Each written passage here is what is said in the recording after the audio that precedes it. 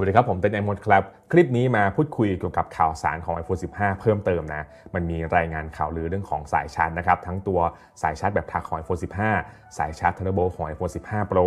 มีข้อมูลปุ่ม Action ของ iPhone 15 Pro เผยข้อมูลสีใหม่ของตัว iPhone 15 Pro แล้วก็สุดท้ายเรื่องของราคา เนื้อหาข่าวจะเป็นอย่างไรไปชมสรุปข้อมูลกันได้เลยครับ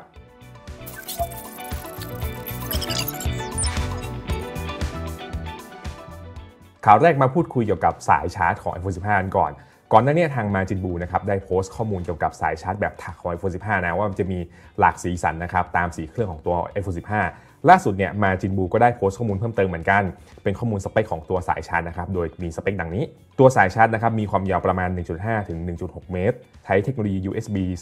2.0 20 โวลต์ 3 แอมป์หัวชาร์จนะครับมี 16 หัวต่อตัวสายนะครับมีความหนาแล้วก็ทนทานกว่าเดิม แล้วก็ ตัวสายไม่รองรับ MFI จากรายงานของมาจินบูนะ ก็สายชาร์จแบบถักที่เราเห็นเป็นหลักสีสันของ iPhone 15 ตัวนี้ยังใช้พื้นฐานเป็นเทคโนโลยี USB 2.0 อยู่ ซึ่งเหมือนกับตัว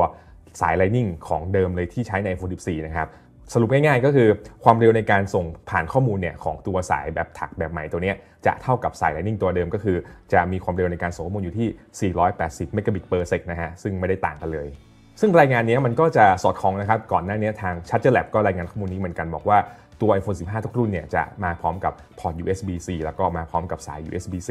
แต่ทาง Charger Lab เนี่ยเขาพบข้อมูลว่าตัวพอร์ต USB-C ของ iPhone 15 ทุกรุ่นนะครับจะรองรับ Thunderbolt แต่ส่วนตัวผมมองว่าตัว Thunderbolt เนี่ยจะอยู่ใน iPhone 15 Pro แล้วก็ iPhone 15 Pro Max มากกว่า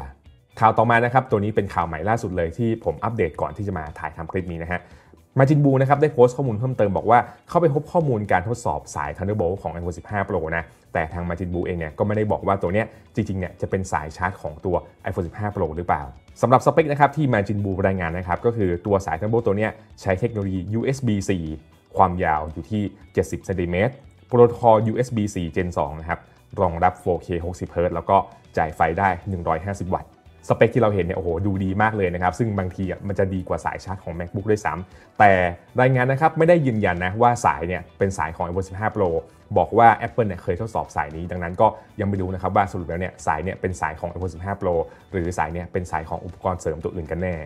ข่าวต่อมาเป็นการพบเบาะแสอีกแล้วนะครับ เป็นฟังก์ชันของปุ่ม Action ที่หรือว่าจะมาใน iPhone 15 Pro โดยข้อมูลตัวนี้ไปพบใน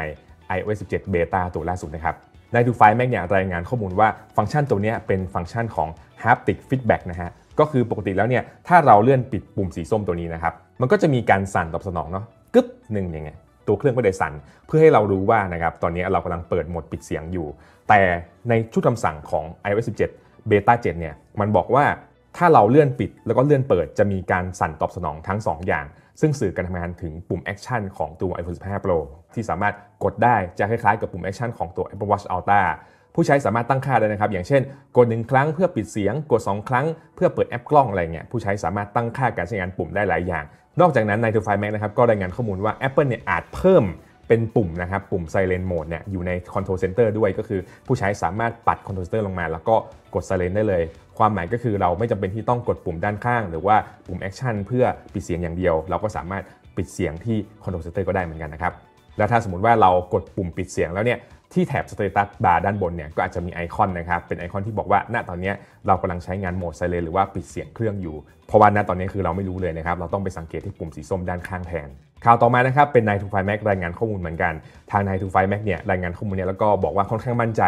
เกี่ยวกับเรื่องสีของตัว iPhone 15 Pro แล้วก็ iPhone 15 Pro Max นะใน 9 to 5 Mac นะครับบอกว่า iPhone 15 Pro แล้วก็ iPhone 15 Pro Max เนี่ยจะไม่มีสีทองอีกต่อไป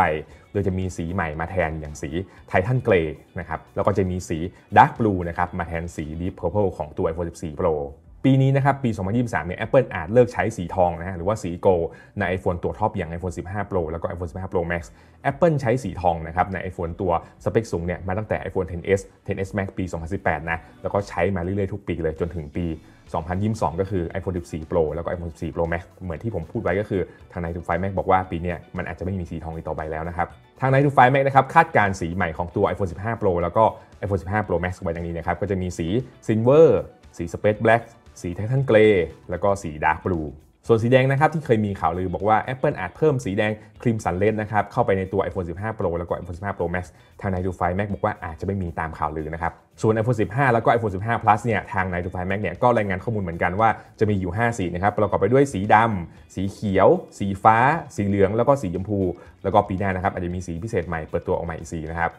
สำหรับข่าวสุดท้ายนะครับก็เป็นเรื่องของราคา iPhone 15 Pro แล้วก็ iPhone 15 Pro Max ก่อนหน้านี้เราเคยได้ยินมาหลายรอบแล้วว่าตัว iPhone 15 Pro แล้วก็ iPhone 15 Pro Max เนี่ยราคาเริ่มต้นเนี่ยจะแพงที่สุดเท่าที่มีมานะครับล่าสุดเนี่ยทางดิจิทัลนะครับก็ขยี้ข่าวนี้แล้วก็รายงานเหมือนกันว่า ราคาเริ่มต้นของตัว iPhone 15 Pro แล้วก็ iPhone 15 Pro Max เนี่ยอาจจะเพิ่มขึ้นจากเดิมนะครับ100ถึง200 ดอลลาร์โดยราคาเป็นอย่างนี้นะครับ iPhone 15 Pro เริ่มต้นที่ 1,099 ดอลลาร์ถึง 1,199 ดอลลาร์ เทียบกับ iPhone 14 Pro นะครับที่เริ่มต้นที่ 999 ดอลลาร์ iPhone 15 Pro Max เริ่มต้นที่ 1,199 ดอลลาร์ถึง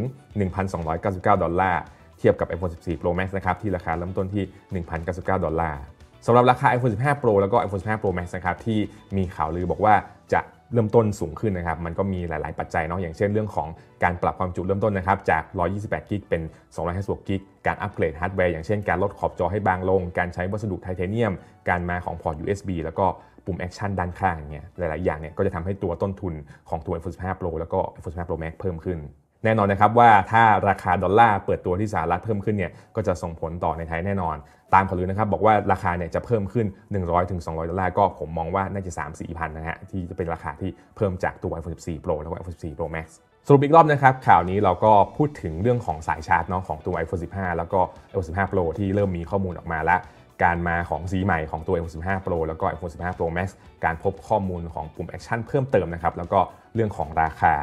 คิดเห็นกันอย่างไรครับ เสียดายไหมที่สีทองของตัว iPhone 15 Pro แล้วก็ iPhone 15 Pro Max อาจจะไม่มีคอมเมนต์กันไว้ได้เลย ก่อนจากกันไปก็ฝากกดไลค์กดแชร์กด subscribe ช่อง iMod Official ไว้ด้วย ผมเต้น iMod ขอลาไปก่อนนะครับ สวัสดีครับ